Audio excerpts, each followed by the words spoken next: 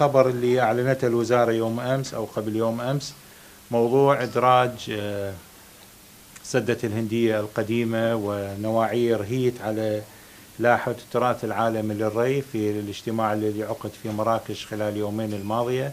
حقيقة هذا إنجاز عالمي يحسب إلى الحكومة العراقية وإلى وزارة الموارد المائية.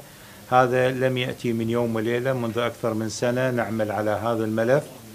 تمكنا من استكمال كافة المتطلبات ونجحنا في إدراج هذا هذه التحف حقيقة القائمة حاليا نواعير هي نواعير هيت قائمة وسدة الهندية القديمة قائمة.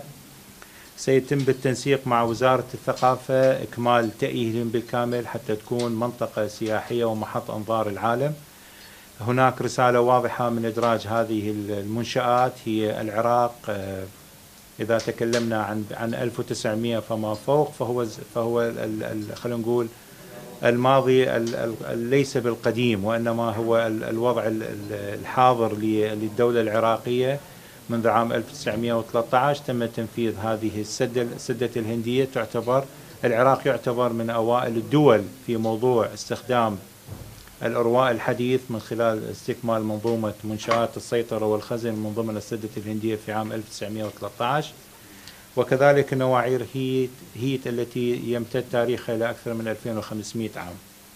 فهذا حقيقة آه، كوزارة نحن فرحين جدا بهذا الإدراج الذي حصل خلال فترة جدا قليلة من عمر هذه الحكومة دلالة على حرص الوزارة وحرص الحكومة على إيضاح صورة العراق للعالم من خلال إدراج هذه المواقع المهمة على لائحة التراث العالمي للري. هناك لائحة التراث العالمي للآثار.